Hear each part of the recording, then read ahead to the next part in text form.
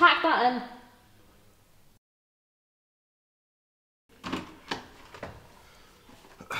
Oh, hello, Craig. Uh, this must be your mother, Mrs. Smith. Please, do come in. I must say, it is a surprise to see you in school, Craig, after being off for the last two weeks. Well, that is what we're here to talk to you about, Mr. Patrick.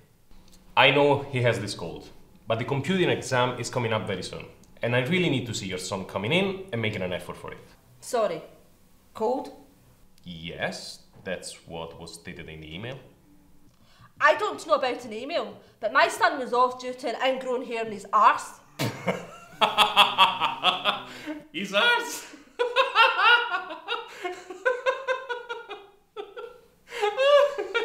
I'm sorry, Mr. Patrick, but is there something about my son's arse that you find funny?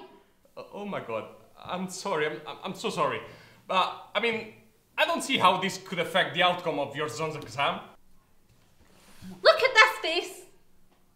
That is the face of a boy who is in pain and is clearly incapable of taking this exam. He's sitting down alright to me. I think he's fully capable of coming in and taking the exam.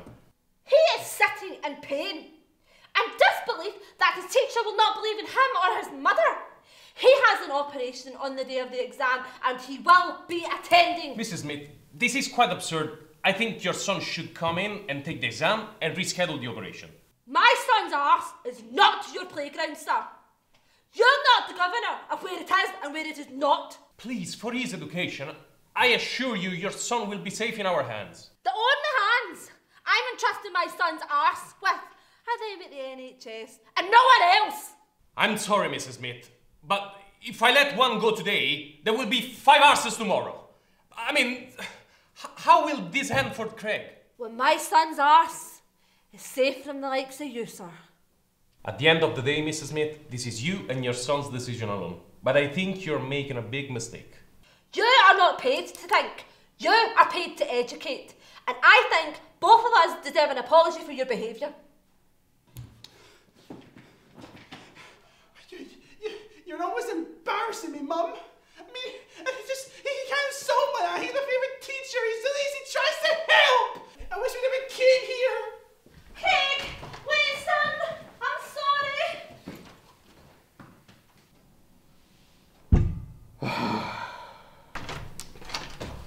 Mr. Patrick's okay if I use your printer? Sure.